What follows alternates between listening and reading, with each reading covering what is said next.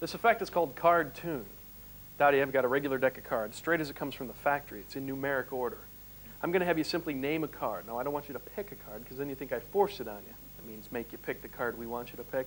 I'm not going to do that, Dottie. I'd like you to name a card. Free choice, anyone you'd like. Uh, three of diamonds. Uh, three of diamonds. Would you like to change your mind? No. Stick with the mind you got. That's fine. I tell you what we'll do, Dottie. We'll take the three of diamonds and we'll lay it right up here underneath the mat. That way we don't forget it. Drawn on the back of the deck is a little stick figure magician. Now, each picture is just slightly different than the one that precedes it. It animates. That's where this trick gets its name, card tune.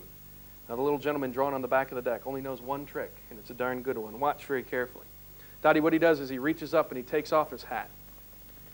He reaches into his hat and he pulls out what looks like a rabbit, but it's a card.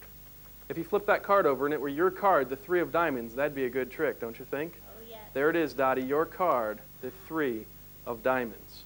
Now that is one.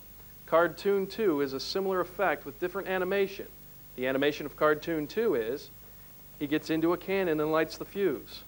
Throws the cards in the air, gets shot out, bounces off the wall of the tent, comes back down, a little burnt, but nonetheless has your card, the three of diamonds.